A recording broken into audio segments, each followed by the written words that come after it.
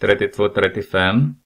Du har funktionen y är lika med 2 dividerat med x upphöjt till 2.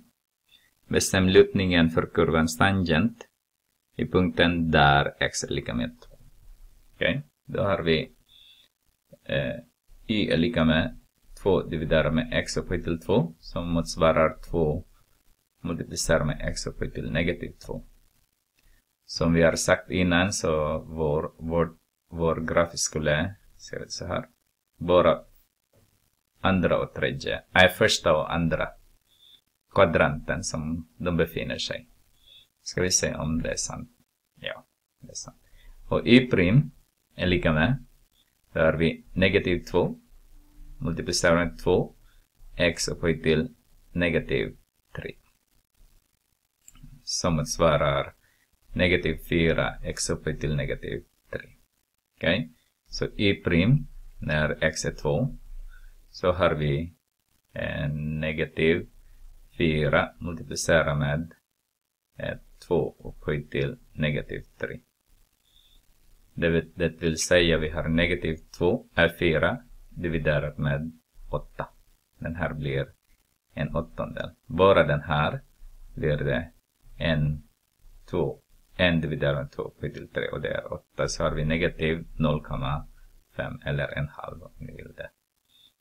Då så, så har vi y är lika med eh, kx plus m.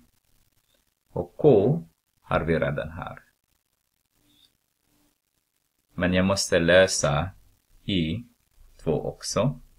Så har vi 2 dividerat med 2 upphöjt till 2 är 4. Det är också en halv men inte negativ.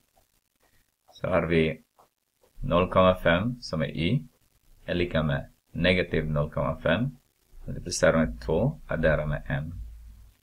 Så har vi det här är 1 så har vi negativ 1 plus 1 är lika med 0,5 då har vi 1,5 som är vårt m då. Så vår funktion eller vår tangent är negativ 0,5 x plus 1,5. Vad vill de att vi ska göra? Bestäm lutningarna. Vi skulle bara bestämma lutningen. Jag gör det för mycket. Men jag skulle visa också med eh, grafen så att ni ser det. Eh, exit. Så har vi 2 dividerat med x upphöjt till 2. Och har vi negativ Eh, 0,5 x plus 1,5. Så draw. Så där är vi. Om jag ska göra zoom in. Så det blir lite större så att ni ser.